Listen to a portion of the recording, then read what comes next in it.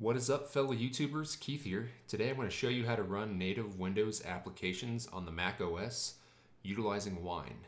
It is extremely easy and offers some very awesome functionality for those of you who love using your Mac but may need to use a few Windows specific programs, files, or even games that are in the .exe format.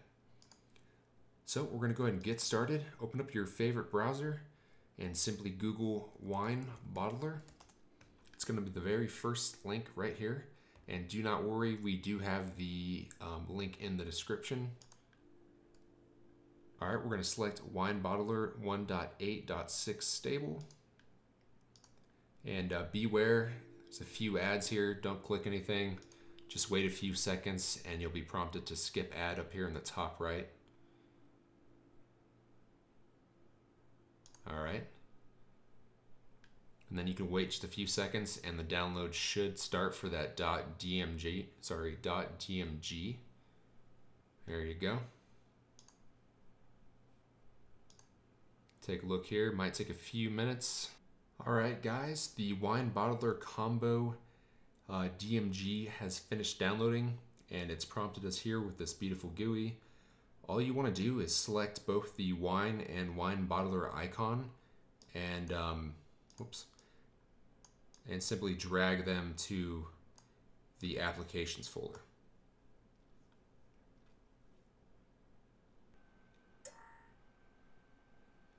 Okay. So next, after you've um, moved those uh, icons into the applications folder and they uh, appropriately installed, we're going to go ahead and click Wine Bottler. Say open.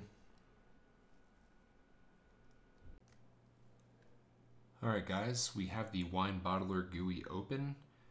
Um, as you guys can see, there's a variety of applications that you can install. Um, some, you know, browsers here. I think you have MS Paint. Yep, down here. And all you do is hit install and it'll repackage these .exe files into application bundles or uh, just a .app that can then be uh, utilized natively on, on your Mac OS. And you can place these files honestly wherever you want, but um, you have the option by default to just place them in the, uh, the applications um, dock here on Launchpad.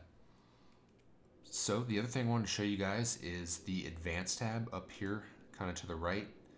It's this uh, pungent yellow orangish um, GUI.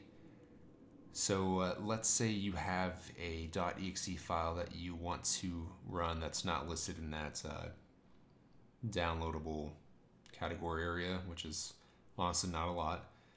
So if you have a file for, uh, let's say you, I don't know, MS, MS Paint, you would select the file if you downloaded it.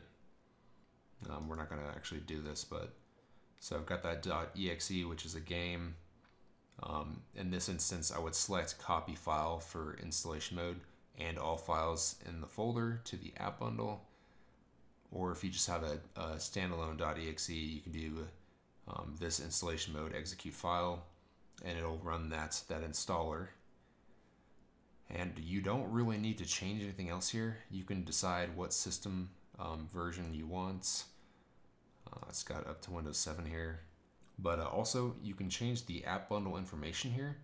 So as you can see here, copyright, identifier, category title, it doesn't really matter, but if you go up here to prefixes, I've made some in the past, it does append that support, um, your company, blah, blah, blah, to the end of that. But again, it doesn't matter.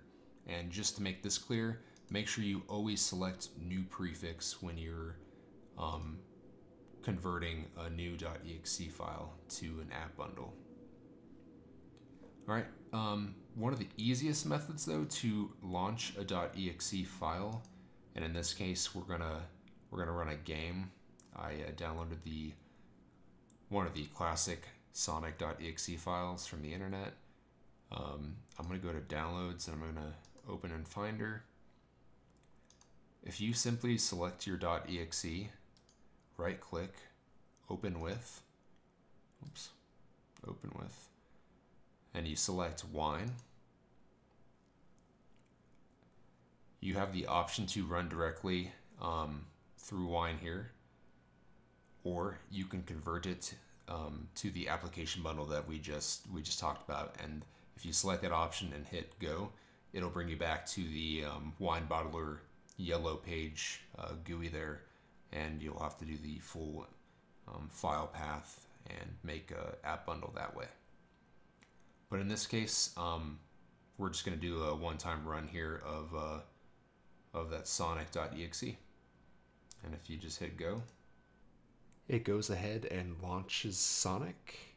And you can go ahead and play this as you normally would. And this is a windows.exe and it works on the Mac. And I'll throw a little five second demo here. Run around with Tails. There you go.